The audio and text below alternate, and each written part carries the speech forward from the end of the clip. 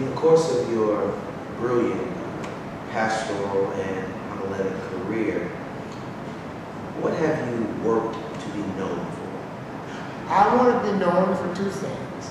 I want to be known for someone who has been touched by the Holy Spirit. I want to be a spirit man, and I want to be a man of substance. I think if I had substance without, without spirit, I would be arrogant. And if I had spirit without substance, I would be an entertainer. But if I have substance and spirit working hand in hand, I'd be the kind of preacher I want to be. So, given your pastoral tenure, which has been extensive between Concord and Hartford, what do you consider the single most important concentration area for young pastors in their ministry? What should we focus our attention on as pastors?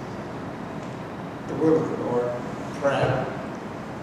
I I think uh, that should be the first thing, is to make sure that we pray a lot.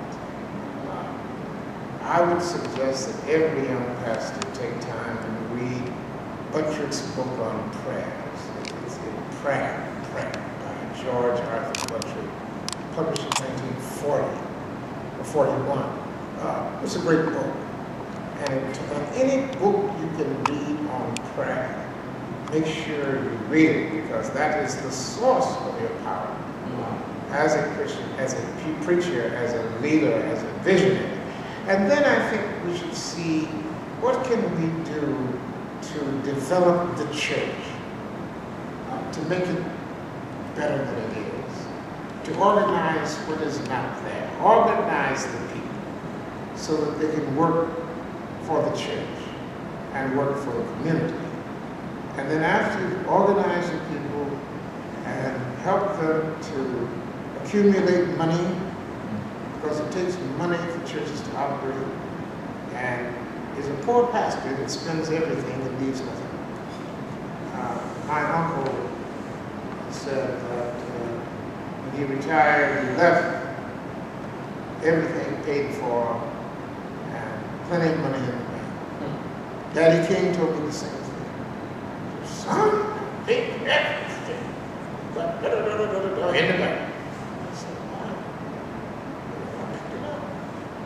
So when I left Concord, Uh, eight times as much as I found.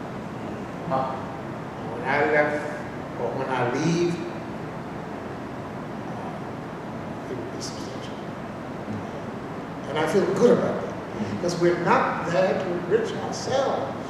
We are there to develop the church and to secure the church from the blessings of our youthfulness and our success. There ought to be something out. And I always tell the church, don't spend everything. Put some